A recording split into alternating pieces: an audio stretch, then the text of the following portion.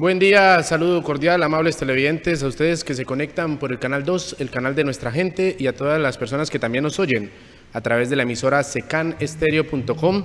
El día de hoy, en los colores del debate, estaremos hablando un poco sobre el periodismo, periodismo alternativo y la importancia de este para afrontar los diferentes retos, retos en la sociedad como tal y a la hora de también hablar diferentes puntos que no se tocan por parte del Estado o que muchos medios hegemónicos tratan de invisibilizar.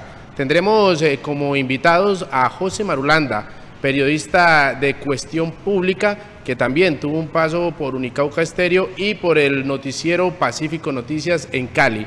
De igual manera, tendremos como invitado a Edwin Castelar. Él es un periodista cartagenero radicado en Argentina, que tiene un programa llamado La Hamaca Grande, en donde trata de visibilizar a los inmigrantes. Este programa es precisamente realizado por inmigrantes de toda Latinoamérica y la idea es visibilizar un poco estas problemáticas por las que pasan eh, las personas que llegan a este país y precisamente a los diferentes países eh, que conforman eh, toda América Latina. Sin más preámbulo, pues quiero darles la bienvenida. Quiero que sean ustedes quienes nos hablen un poco más sobre cuál es la importancia que tiene el periodismo a la hora de mostrar las diferentes eh, problemáticas que tiene una sociedad como tal o qué son esas cosas que un Estado no viene ejerciendo precisamente para bienestar de toda una sociedad. José, ¿qué tal? Jonathan, eh, compañero invitado, muchísimas gracias por la invitación. Eh, para mí un gusto estar aquí con ustedes y yo creo que lo primero es que siempre la clave del periodismo es que sea un periodismo de contrapoder. Y creo que eso se ha olvidado en algunos contextos de Colombia. No hablo de América Latina porque no conozco, pero en el caso de Colombia, cuando hay poderes bajo los cuales se simpatiza por el parte del periodista el, periodista norteamericano Seymour Hersh, eh, digamos, el que reveló todo lo de las eh, matanzas de Vietnam, el que reveló los abusos en la, en la cárcel de Abu Ghraib en Irak, decía que no hay nada más peligroso que lleguen gobiernos progresistas para los periodistas. Yo por eso he tratado ese punto de vista, porque casi siempre el peligro que se alerta es de gobiernos abiertamente censuradores, eh, que persiguen periodistas, que demandan, o gobiernos que si bien no demandan, pues no dan garantías para que el ejercicio periodístico se dé. Digamos que ante eso todo el mundo está alerta, todo el mundo está claro, nadie se deja, digamos, censurar de gobiernos, eh, por lo menos de derecha, en el caso del gobierno de Iván Duque, hay alertas muy claves frente a muchos periodistas, pero decía Seymour Hess que el peligro es de gobiernos bajo los cuales se simpatiza porque no se les hace control. Es decir, no hay contrapoder a, gobiernos, el periodista simpatiza con él y deja de ser periodista. Entonces, eh, porque se cree que investigarlo, por lo menos cuando son gobiernos con tendencias socialdemócratas, algo liberales o de izquierda, que se le está haciendo daño al proceso, que se le está haciendo daño a, bloquearle la, el camino al uribismo, que no se le puede hacer juego a los que quieren acabar con los procesos sociales. Entonces, eh, eso ha pasado en Colombia y lo menciono particularmente con Bogotá, Cali y Medellín, que es donde han llegado gobernantes distintos al centro democrático y los periodistas que les han hecho control a esos gobiernos les ha ido muy mal. Les ha ido muy mal porque son considerados personas que están dañando el proceso, digamos, social o popular. Entonces, se olvidó eso, Jonathan. Yo creo que el periodismo alternativo ha olvidado eso, de que es contra, o sea, cuando uno le dicen periodismo es contra poder asterisco, eh, es cierto, como cuando los contratos, condición, eh, eh, no es contrapoder cuando es gobierno alternativo, no es contrapoder con todo el mundo. O sea, no se puede hacer esa diferenciación que solamente es contrapoder con la derecha.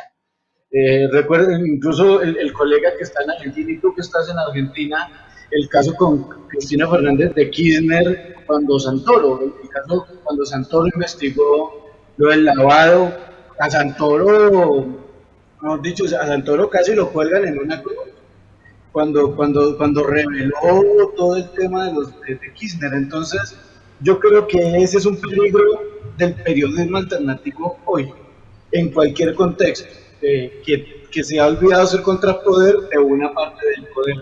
Y cierro con esto, eh, yo creo que eh, el periodismo alternativo necesita, por eso me interesa mucho escuchar el proyecto de la Maca Grande, porque creo que el, proyecto, el periodismo alternativo necesita también ser, además de un buen contrapoder amplio, ser más cronista, contar más historias de vida, digamos más... Eh, recuerdo que Gaitales decía que todo objetivo era falta de investigación.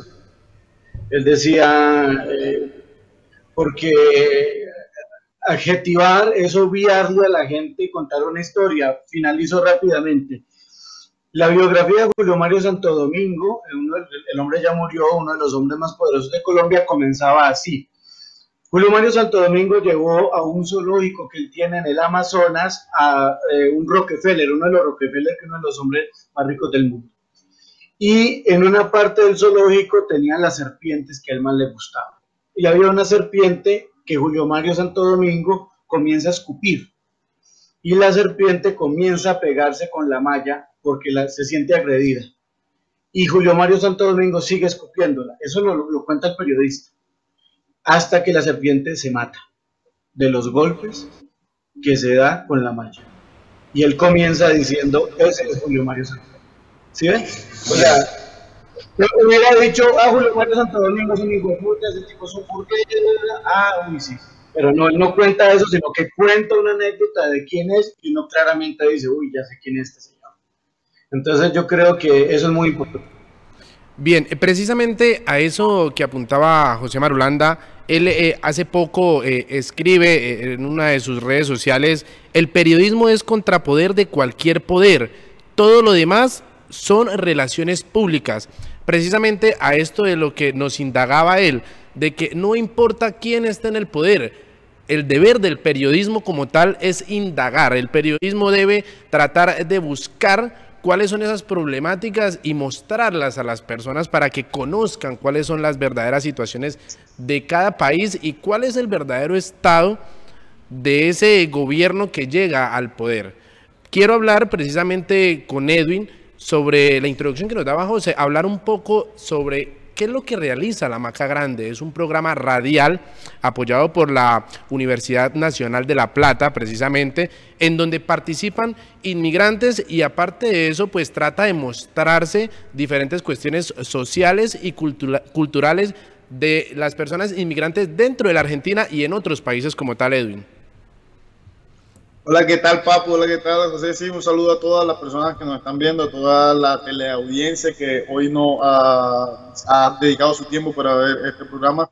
Y te diría que justamente la Maca Grande nace en la, en la búsqueda de realizar un programa con, donde la población migrante tuviera una voz en la cual se pudiera escuchar.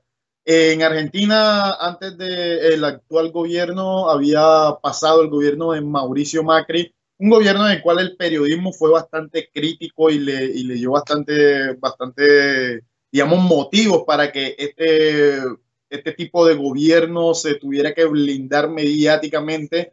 Y entre eso también una de las condiciones que realizó el gobierno de Mauricio Macri fue la creación de un decreto eh, presidencial con necesidad de urgencia, con fuerza de ley, en el cual a la población migrante se le era señalada e incluso fue, este, este decreto fue eh, sancionado y criticado por varios organismos de derechos humanos a nivel internacional, pues a un migrante se nos dejaba en una condición en la cual si un migrante tenía un antecedente penal, inmediatamente podía ser expulsado del país eh, sin ninguna garantía, sin ningún proceso justo, sin ninguna, sencillamente con la firma del director de, migraciones, que en sí mismo es un organismo ejecutivo, más no judicial. A raíz de esta situación que había venido pasando acá en Argentina con Mauricio Macri, en la cual los migrantes se habían convertido en un chivo expiatorio para la mayor parte de los problemas de Argentina, nació la idea de crear un programa en el cual desde la ciudad de La Plata, que es una ciudad con una gran cantidad de población migrante, principalmente estudiantes y trabajadores que vienen a esta ciudad, que es una ciudad universitaria, eh, pudiera de una u otra manera poner la voz de los migrantes y las definiciones de lo que estaba sucediendo en cada uno de sus países en relación con lo que estaba sucediendo en La Plata en ese momento. El nombre fue difícil de conseguir, pero logramos tener algo que creemos nosotros desde la producción de Maca Grande acobija a toda Latinoamérica y es la hamaca, justamente la hamaca que va desde Paraguay hasta Argentina, hasta el norte de Latinoamérica, eh, donde la hamaca no solamente va con los pueblos originarios, sino que también es un símbolo de tranquilidad y de paz. Entonces, por eso decidimos una hamaca grande, una hamaca grande con nuestro eslogan que es eh, donde cabe toda Latinoamérica, justamente porque toda Latinoamérica es lo que queremos contar desde este programa. Ahora, con respecto a lo que decía nuestro compañero invitado eh, en relación con la política, con las políticas públicas y el periodismo, yo estoy totalmente de acuerdo. Yo pienso que el periodismo tiene que ser un espejo retrovisor de la política. La política de un país tiene que tener sí o sí a alguien atrás criticando y mirando absolutamente todo lo que haga, si no es sencillamente el libertinaje del periodismo. También pienso que Rodolfo Walsh, por ejemplo, uno de estos de los periodistas insignia de Argentina, eh, asesinado por la dictadura de Videla. Eh, este periodista contaba y explicaba que el periodismo tiene que ser independiente o no será. Y justamente esta independencia de los poderes de gubernamentales, pero no solamente de los poderes gubernamentales, sino también de los poderes económicos, es lo que en sí mismo termina construyendo a un periodismo que realmente eh, plantee la, la, alternatividad dentro de sus condiciones, dentro de su, de su propia esencia de hacer periodismo. Algo muy interesante y es que durante el gobierno de Macri, eh, los conglomerados periodistas de periodísticos de de Argentina, digamos los grandes bufetes de periodismo como Clarín, como La Nación, eh, en un principio trataron de mantener y de engrosar la imagen de Mauricio Macri cuando ya su, la crisis del país llegó a cierto punto, eh, decidieron, decidieron cambiar de, de, mentalidad. Sin embargo, con el actual gobierno, que es de Alberto Fernández y la vicepresidenta Cristina Fernández de Kirchner, que es, como decía nuestro compañero, un gobierno que se autoconcibe a sí mismo como alternativo, como popular y como, y como un gobierno pensado para la población argentina, para el beneficio de la población argentina, eh, muchísimos medios de comunicación habían tenido lo que estaba explicando y es justamente este, este no digamos miedo, pero sí una pequeña reserva para contar lo que estaba sucediendo eh, en el gobierno, para criticar, para, para señalar lo que estaba sucediendo en este gobierno. Por un lado, la prensa alternativa, pero también hay que ser realista los conglomerados mediáticos nacionales e internacionales tienen un gran poder de llegada a diferentes lugares de Argentina. Por, por ende, eh, los periodistas alternativos en comparación con los grandes poderes mediáticos terminan siendo mínimos para, para afrontar esto. Sin embargo, José, y acá que nos está escuchando, te quiero comentar algo que pasó recientemente acá en Argentina que de hecho me parece que es el mayor ejemplo que se puede dar de cómo el periodismo, independientemente de, del gobierno que esté presente, debe hacer esta labor eh, periodística e investigativa, justamente de la investigación, donde eh, logre mantener a raya en línea al gobierno que esté de turno. Y es que recientemente uno de los periodistas que es afín al actual gobierno de Argentina, eh, denunció y explicó en uno de sus programas radiales cómo uno de los ministros del gobierno de Fernández, de, de Alberto Fernández, le había ofrecido una vacuna, una vacuna en el proceso de vacunación.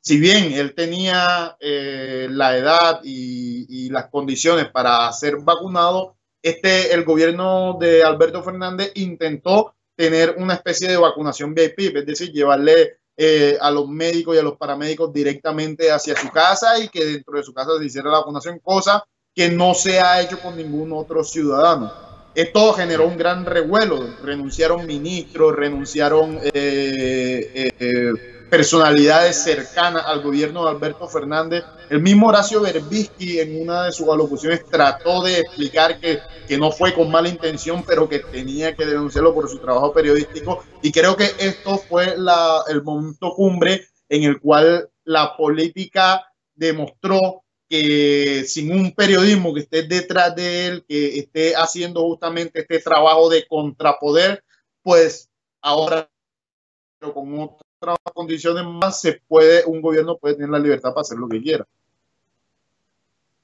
Cada uno tocó diferentes temas, diferentes eh, problemáticas y diferentes ejemplos en donde el periodismo es y debería ser protagonista precisamente para hacerle ese seguimiento a bien sea partidos políticos, gobiernos o personajes que, eh, digamos, infrinjan con diferentes situaciones en las cuales afecte a una sociedad como tal. La pregunta es la siguiente, ¿por qué es importante, por qué es tan importante para la sociedad como tal este periodismo alternativo, este periodismo que se sale de lo hegemónico, este periodismo que se sale ir detrás de una institucionalidad o un personaje como tal, precisamente irse fuera de lo que llamaríamos muchas veces esas relaciones públicas, esas, esos community managers que van detrás de ciertas personas o identidades. ¿Por qué es importante este periodismo alternativo? José. Mm, yo creo, basándose, fíjese en lo que acaba de decir Elkin, mire nomás el ejemplo de la vacunación, porque el periodismo alternativo, eh, si cumple con su ejercicio de ser alternativo, está por fuera de los poderes económicos y por ende entonces no tendría que tener ninguna limitación para informar. Es decir, su agenda no estaría marcada por los pautantes. Eh, digamos, si son gobiernos o si son grupos económicos, y eso ayuda mucho a la hora de informar, porque, por ejemplo, en el caso del proceso de vacunación, miren eh, los que han revelado los acuerdos que hizo, por ejemplo, Pfizer BioNTech a la hora de comprar vacunas por parte de los gobiernos, ¿no? Donde eh, Pfizer pedía mm, como garantía elementos vitales de los países, no recuerdo si ese es el nombre, pero es decir, edificaciones públicas, o sea, cosas de máximo interés para una nación, Pfizer las pedía como garantía para negociar la vacuna. Y si no hubiera visto periodismo alternativo, la sociedad no se hubiera dado cuenta de eso. Eh, por ejemplo, si no hubiera periodismo alternativo, la sociedad, por ejemplo, en el caso de cuestión pública, eh, hoy que está en, en boga la situación de unos menores de edad reclutados por las disidencias de las FARC que habrían muerto en un bombardeo en el Guaviare, pues Cuestión Pública reveló una investigación de hace un año, porque recuerden que hace un año pasó lo de un bombardeo de menores en el Caquetá, y Cuestión Pública reveló que el ejército, el ministro de Defensa y el presidente Duque sabían por informes de inteligencia que había menores en el campamento. ¿Y cómo lo demostró? demostró el documento? O sea, por medio de un trabajo de, lucha por conseguir datos abiertos, derechos de petición y demás, se logró obtener el informe de inteligencia que demostraba que se sabía de la existencia de los menores de edad en esos campamentos. Ahí voy con lo siguiente. Eso es lo que decían eh, de, Rodolfo, de Rodolfo Walsh. Ahí es un asunto clave. Y decían allí, eh, creo que era este anarquista Osvaldo Bayer, si no estoy mal, en un prólogo de Operación Masacre, que decía, Walsh no se queja, demuestra. Yo creo que el periodismo alternativo tiene que hacerle caso a esa máxima, quejarse menos y demostrar más. Y creo que demostrando más demuestra qué tan alternativo es, porque creo que la sociedad hoy es más exigente frente a los periodistas y eso incluye a los periodistas alternativos. O sea, los medios alternativos creo que se les está exigiendo más en contenido, en calidad, en verdades reveladas Yo creo que eso pasa por ser periodismo alternativo. Usted, Jonathan, que compartió la experiencia conmigo en Pacífico Noticias, creo que fue algo de lo que se aprendió. Hubo una cosa importante que Pacífico Noticias logró en su momento y fue regularidad. El periodismo alternativo no era una cosa que salía cada vez que se pudiera, cada vez que había plata, cada vez que nos daba la gana, no, había que cumplir con un horario, había que cumplir con una norma y creo que la disciplina y la rigurosidad deben hacer parte del periodismo alternativo. Entonces yo creo que finalmente sin periodismo alternativo no se puede hacer, eh, eh, no se puede llegar a la verdad ahorita.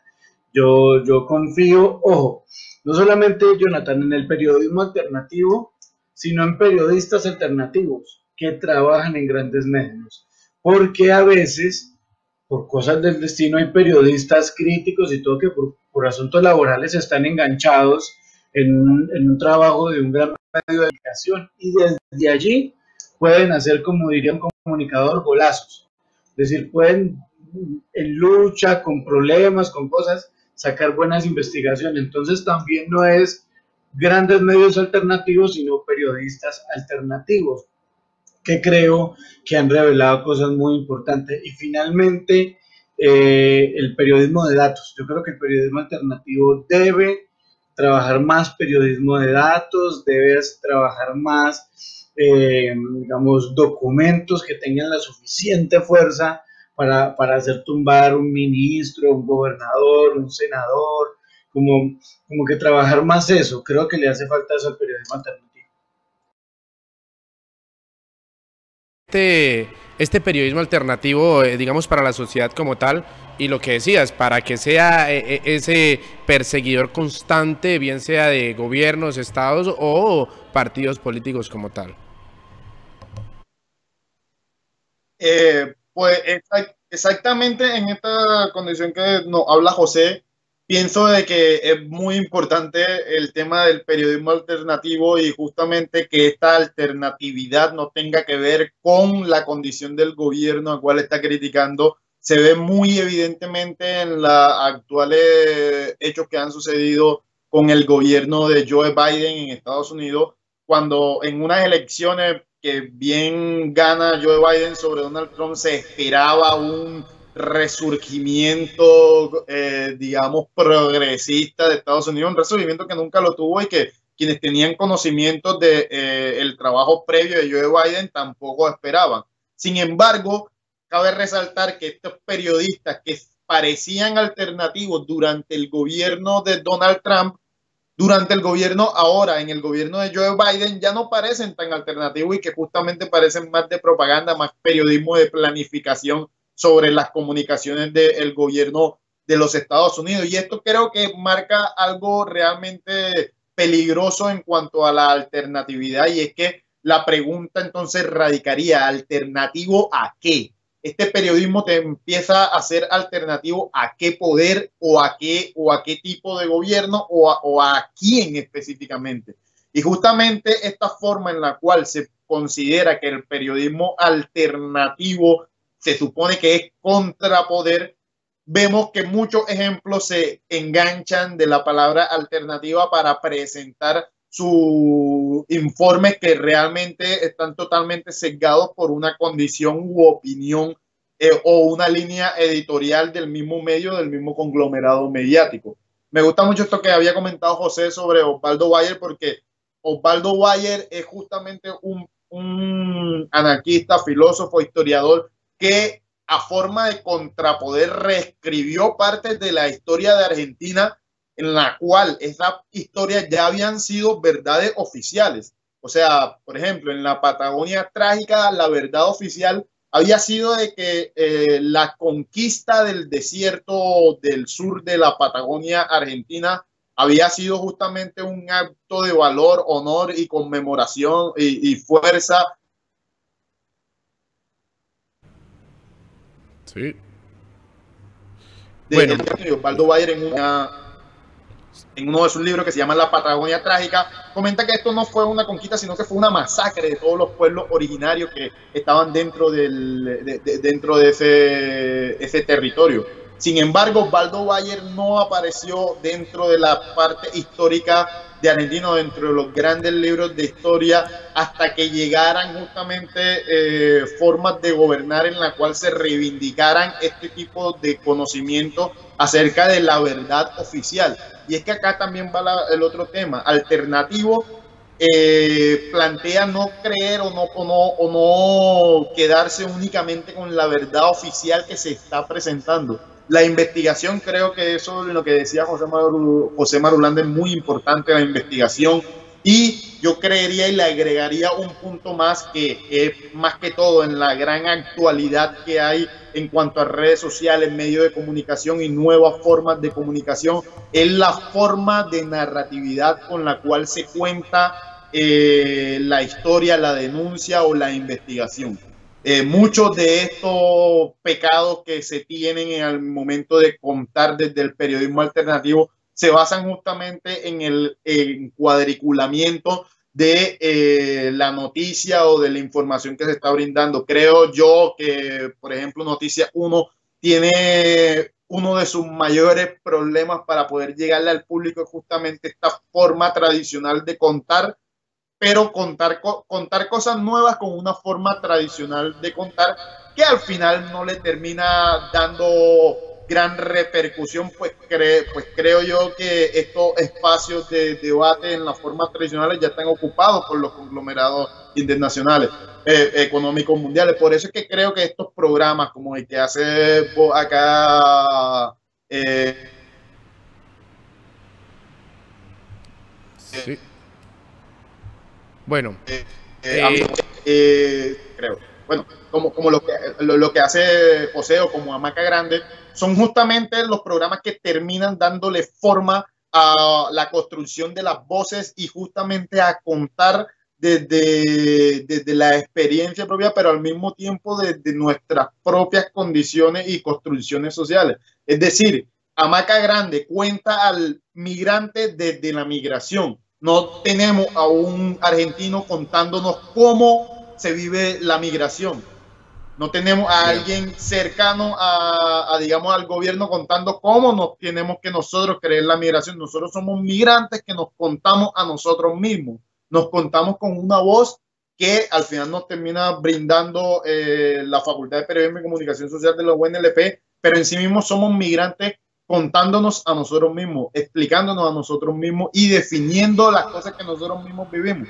En cierta medida creo que el periodismo alternativo también tendría que ir eh, direccionado hacia contar lo, desde los mismos lugares donde las personas están contando. Y eso sí, la investigación y el trabajo, y, y el trabajo no puede salir, el trabajo periodístico no puede salir de esta ecuación. Siempre se tiene que tener un trabajo totalmente eh, periodístico y sobre todo un trabajo que explique y que legitime lo que se está diciendo, no solamente con las adjetivaciones. Bien, Edwin, José, eh, lastimosamente el tiempo en televisión para el programa es bastante corto. La idea es seguir eh, realizando este tipo de programas precisamente para contarle a la gente esa importancia que tiene el periodismo y contarles un poco sobre qué tipo de información es la que debe consumir también a la hora de entender las acciones y los movimientos que tienen diferentes sectores, diferentes partidos, diferentes personajes para llevar a cabo el desarrollo de un país como tal o un tema como tal. Eh, agradecerles a Edwin en Buenos Aires, a José eh, en Medellín, creo que estás, José. Preciso. Eh, bueno, agradecerles a los dos. Eh, definitivamente resalto mucho el trabajo que realiza cada uno de ustedes. Edwin con Amaca Grande, José con Cuestión Pública y bueno, todo su trasegar por el periodismo y espero poderlos tener en un próximo programa aquí en los colores del debate. Eh, la verdad, eh, bastante contenido tenemos para hablar cuando hablamos precisamente de periodismo alternativo, de cuál es ese desarrollo informativo que llevan a cabo cada uno de estos medios. Lo que contaba José no es simplemente algo de cuando pueda, no, debe haber una continuidad, debe haber una disciplina por parte de estos medios para poder lograr lo que se quiere, para poder llegar a esa alternatividad, para poder llegar a esa información verídica donde podamos también tener los fundamentos, las fuentes, los datos, que podamos eh, llegar a entender y comprender cómo se mueve esta situación, qué es lo que está pasando en realidad, no dejarnos, digamos, eh, tapar la boca o tapar los ojos con cualquier tipo de noticiero, con cualquier tipo de información que nos brinden. Precisamente en las redes sociales se mueven muchas cosas. Eh, la idea es investigar, la idea es indagar y eso es lo que promovemos desde los colores del debate, tratar de buscar otro tipo de información que nos lleve a desarrollar ese pensamiento crítico a la hora de entender qué es lo que está pasando. Me quiero despedir desde aquí, desde el canal 2, el canal de nuestra gente, con este, su programa, Los colores del debate.